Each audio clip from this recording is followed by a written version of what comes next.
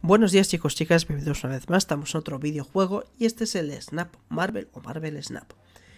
Actualmente lo tenéis en acceso anticipado, lo tenéis para Android, también para PC, Steam y no sé si para algún otro dispositivo, supongo que sí. ¿De qué se trata este juego? Es un juego de cartas, eh, pero vamos a ver que no es tan importante el tema de ganar o perder como el tema de coleccionarlas. Por lo tanto, podríamos decir que es un juego de cartas coleccionables que tu meta pues va a ser tener todas lo más subidas posibles y ya estaría. Pero aún así tenéis peleas, tenéis un PvP, por así decirlo. Pues se trata de construir un mazo con vuestras 12 cartas y luchar contra el contrario.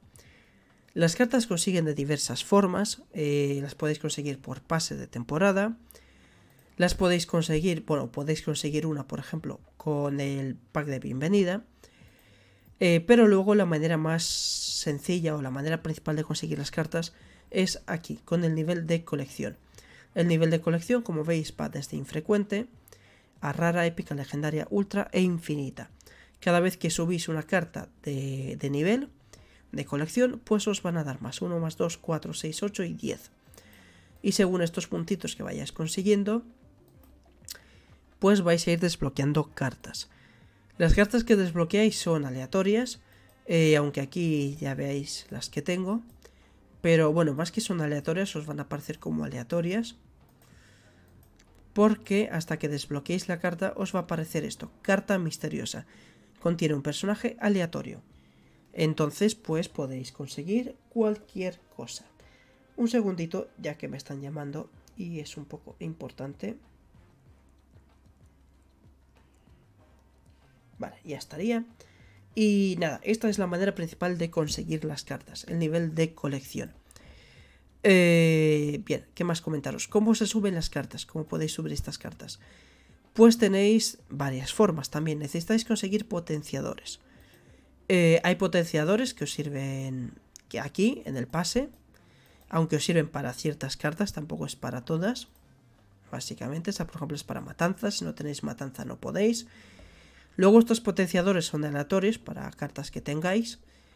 Eh, también otra manera de conseguir potenciadores es en la tienda. Aquí en la tienda podéis comprarlos. Simplemente venís aquí, pagáis esta moneda del juego y eh, conseguís estos potenciadores. Bueno, básicamente subís la carta. O sea, por ejemplo, aquí puedo pagar 50 y la subiría un nivel.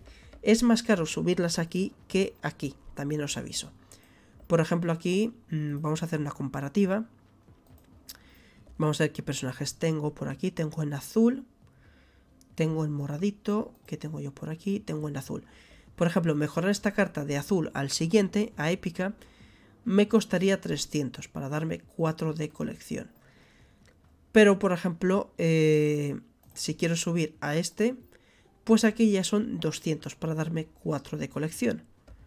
O sea que aquí es más barato hacerlo. En la tienda es un poco más caro, pero tenéis ahí la opción de hacerlo en la tienda. Luego la manera principal de conseguir estas cosas es jugando. Al jugar da igual si te rindes, si pierdes eh, o si ganas, que vas a conseguir copias de las cartas. Vas a conseguir estos fragmentos, estos potenciadores. Entonces la manera principal de hacerlo, de conseguirlos, es jugando, simplemente por jugar. ¿Y qué más cositas tenemos? Pues os tengo que explicar cómo funcionan las cartas. Vamos a ver luego una partida, pero cómo funcionan. Las cartas tienen tres cositas, un símbolo azul, uno naranja y un efecto. No todas las cartas tienen efectos, algunas simplemente tienen descripciones. Y esas cartas pues son cartas que no tienen efectos. Eh, ¿Qué son las, eh, lo de arriba? Pues lo azul es el nivel. Tú para jugar una carta tienes que pagar un coste. Bueno, más que el nivel exacto, el coste. Podríamos decir nivel coste, da igual. Y tú tendrías que pagar ese coste. 1 de energía, 2 de energía, 3, 4, 5, 6 de energía. También a veces pues te pueden salir cartas de, 0 de energía por diferentes efectos. O que una carta de 6 pues te acabe costando 7 de energía también por diferentes efectos. Pero en principio los costes van de 1 al 6 simplemente. Y luego lo otro es el poder. Esto también, hay cartas con cero de poder, no todas, tienen, no todas empiezan en 1. Por ejemplo, esta carta empieza en 0 de poder y puede quedarse en 0 toda la partida. pero a cambio pues tiene un buen efecto. Y luego hay cartas pues muy poderosas. Vamos a verlas, por ejemplo, todas. Vamos a ver todas las cartas y vamos a ordenarlas por poder. Mm, ¿Puedo ponerlas al revés? ¿Puedo ponerlas al revés? No, no puedo ponerlas al revés. Bueno, no puedo ver las cartas que no tengo, pero básicamente estamos viendo que hay por aquí... Uh, ah, vale, sí, estas sí me las he encontrado. Bueno, hay cartas de 16 y puede que haya alguna carta aquí más fuerte todavía. Pero estamos viendo que, por ejemplo, pues esta, la más poderosa, tiene 16. Pero a cambio tiene un efecto muy bestia, muy malo para ti, que es que destruyes tus otras cartas, todas. Entonces, básicamente te vas a quedar sin nada. Y bueno, a cambio tienes 16 de poder. Hay otras cartas como es Hulk, que es una carta bastante buena porque tienes 12 de poder y no tienes ningún tipo de efecto que te vaya a molestar. Luego tienes cartas que tienen poquito poder eh, para lo que estamos hablando, como por ejemplo puede ser América Chávez, pero a cambio tiene un muy buen efecto que es que siempre en el turno 6 la vas a tener en la mano. Por lo tanto, con esto no te arriesgas a robar otras cartas malas y tampoco te arriesgas a robar a América antes del 6, porque tampoco la vas a poder utilizar. Así que, por ejemplo, pues está bastante guay. Y nada, se trata simplemente de eso, de ir jugando, ir haciendo tu mazo y ir combinando diferentes efectos. No hay más que decir. Mm, ¿Qué más os puedo comentar? Pues podemos crear diferentes barajas, cuantas queramos. Luego también tenemos nivel, mm, que bueno, el nivel simplemente se sube o se baja en función de cuánto ganas o pierdes. Eh, cuando ganas, eh, ganas una unidad, se podría decir, un simbolito. Que ese simbolito tú en partida, si quieres, puedes aumentarlo. Puedes decir, bueno, pues si gano esta partida, quiero ganar dos. Pero si pierdes la partida, también pierdes dos. Entonces puedes arriesgarte. no sé qué más deciros. Pues vamos a hacer una partidita. Y mientras tanto, pues contesto un WhatsApp.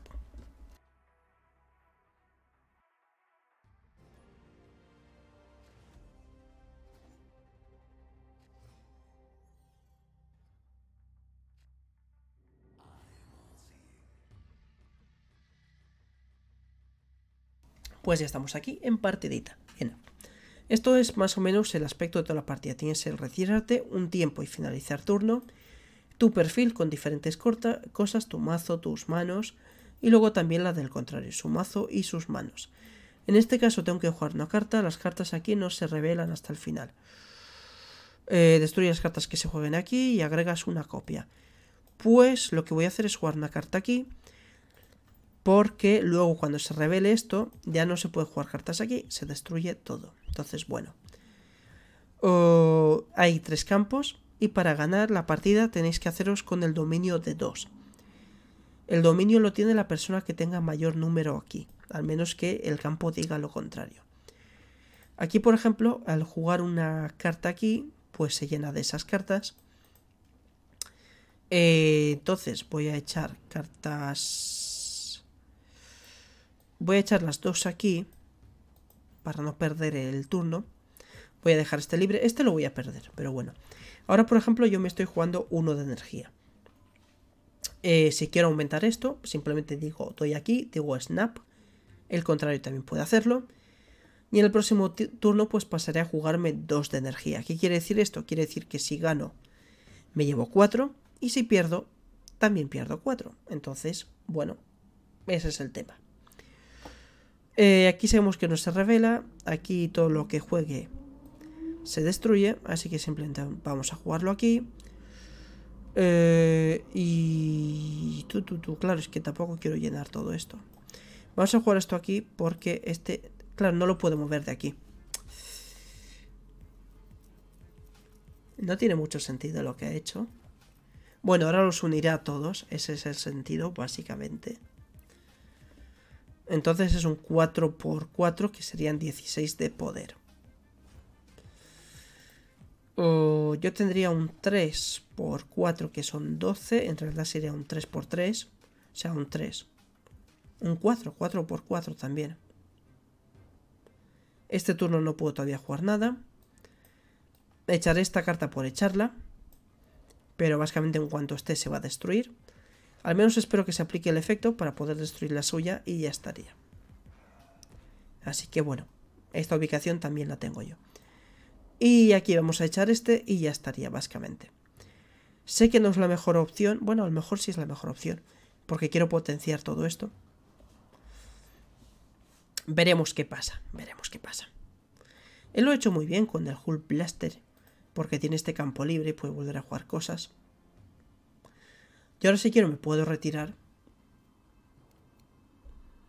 Que de hecho a lo mejor es lo que hago. Porque también está tardando mucho en jugar. Así que bueno.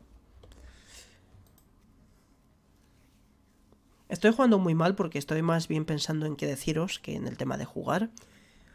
Y también es para demostraros un poco que da igual si ganas o pierdes, porque lo importante es la recompensa final que son las copias de las cartas, como os he comentado. Así que bueno. Esta ubicación seguramente la pierda, entonces a ver si puedo conseguir estas dos. Y bueno, no hay mucho más que comentar. Había mejores estrategias, pero no pasa nada. Vamos a echar esto aquí, sé que la pierdo, pero así le destruyo una carta suya, que no vale para nada. Pero al menos por destruir algo. Él gana esta ubicación. Bueno, sí gana la ubicación porque le pone más copias. Es que efectivamente gana la ubicación. Y mi meta es ganar estas dos ubicaciones. A ver si hay suerte. Necesito ganar 2 de 3, da igual el poder. Puedo ganar con 2 y 2. Y aunque él aquí tenga 37, seguiré ganando yo. Entonces, esa es mi meta, intentar ganar estas dos ubicaciones. Sigue siendo 2 a 6, así que vamos bien. 27 a 6, así que he ganado. He ganado estas dos ubicaciones, así que me llevo puntitos. No vamos a hacer clic en nada. Bueno, obtener recompensa. Hemos visto cómo ha subido aquí, del 7 al 1, así que hemos conseguido 4. Y hemos conseguido copias de este señor, de nuestro rondador nocturno. Como habéis visto, hemos conseguido copias por ganar. Eh, bueno, también tenemos misiones. Lo más importante es hacer las misiones. Pero ¿qué pasa, por ejemplo, si me retiro? Pues eh, si pierdo... Bueno, vais a ver ahora. No hay mucho que... Ahora os lo explico. Podemos retirarnos desde el minuto 1, no hace falta hacer nada, simplemente entras y te retiras. Sin que haya cartas, sin que haya absolutamente nada, escape. Bien, vamos a perder uno de esto. Estamos en cero. Pero también conseguimos copias de la carta, entonces nos viene bien. Si lo que queremos es farmear o necesitamos hacer alguna misión en concreto, pues podemos centrarnos en esa misión y ya está. Por ejemplo, Juega cartas de coste 3. Pues vamos a completar esta misión. Vamos a hacer un mazo. Mm, lo que no tengo, por supuesto que no. Vamos a ponerlo por energía. Y lo único que necesito son costes 3. Como hasta el turno 3 eh, no voy a poder jugar las cartas de 3. Pues en el 1 voy a poner esto. Roba esta carta en el 2. Así que en el 2 voy a poner esto. Y a partir de ahí voy a poner las cositas de 3. Por ejemplo, este que es muy bueno. este también me gusta bastante. Luego, por cada carta que hay aquí. Ubicaciones adyacentes. ¿Qué más tenemos? Bueno, este también está bien. Es un poco lenta. Depende de cuando te toque. Cada carta del oponente. tus otras cartas tienen más uno. Esto está muy bien. Esto no se aplica a los efectos, mueves las cartas aquí. Esto no me gusta porque destruye estas otras cartas. Descarta la carta de mayor coste de tu mano. Esta no tiene efecto y si juego una carta pues me llevaría cositas. ¿Cuántas tenemos? Tenemos una, dos, tres, cuatro, cinco y seis. No sé cuántas necesitamos para la misión. Necesitamos tres simplemente. Así que vamos a hacerlo con esto. Vamos a añadir eh, esta de 6 para que no moleste antes. Y no sé qué más hacer. Añadiremos más cositas de 3. Ah, no he añadido aquí a esta señora tan bonita.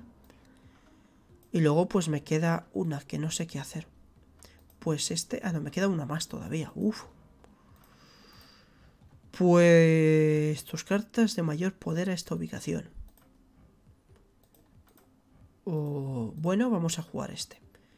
Y vamos a probar este mazo, por ejemplo. Vamos a ir aquí y vamos a darle a jugar.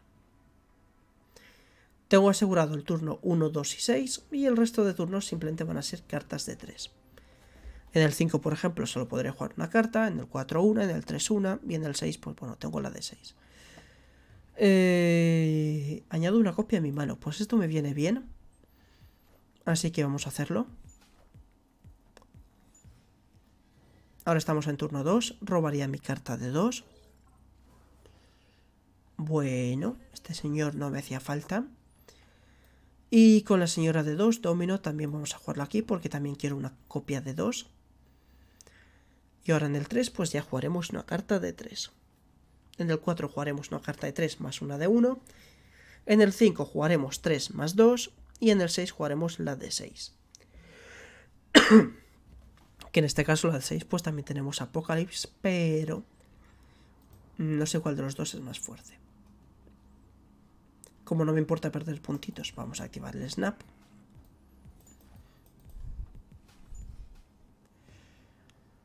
¿Y qué tenemos aquí? Eh, aleatoria, después del turno 5 mueve todas las cartas aquí, de aquí a otra ubicación. Muy bien. Eh, tu, tu, tu, Vamos a leer bien, bien, bien, bien. Adyacentes necesitamos, así nos dan 2 y 2. Así que esta está perfecta. Aumentamos un poco de poder aquí y también un poco de poder por aquí.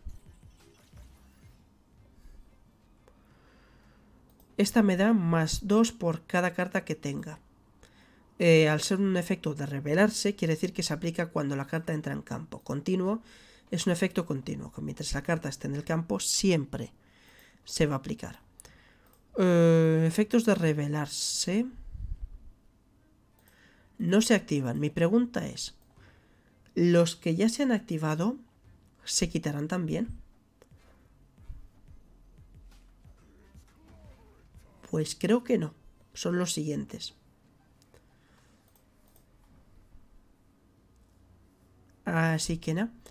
Eh, ¿Qué más vamos a hacer? Vamos a... Ahora estamos en el 5. En el 4, por ejemplo, lo hemos hecho mal porque no he jugado la de 1. Por estar hablando, se me ha ido. Pero la de 5 pues juego esto, por ejemplo, y juego domino y ya estaría. No estoy yendo a, vencer, la verdad, simplemente estoy jugando por jugar. Lo que quiero es hacer la misión. La misión era con tres copias, ya llevo... Llevo tres, ¿no? Mm, sí, llevo, de hecho, llevo justo tres copias. El 3, 4 y 5, exacto. Así que perfecto. Y al 6, pues tenemos una cosita más por aquí. Y bueno, vamos a meterla aquí por meter y a ver qué pasa. Igual ganamos, igual perdemos. Depende mucho de lo que haga él también. Por ejemplo, del 14 la tiene ganada, pero puede pensar que la va a perder y puede atacar ahí. Puede atacar a la de 6 para intentar ganarla. Si ataca con 4 más, pues ganaría. O puede hacer lo mismo en Academia Strange y ganarla también. Depende mucho de dónde eche cartas, pero tiene muy fácil ganarme. Ha echado cartas en la 14 y en la 6 también.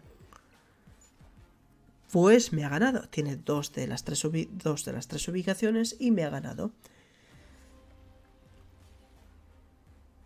Vamos a obtener la recompensa. Hemos bajado de 10 a 6, hemos perdido 4, pero como veis también hemos conseguido copias del señor Punisher.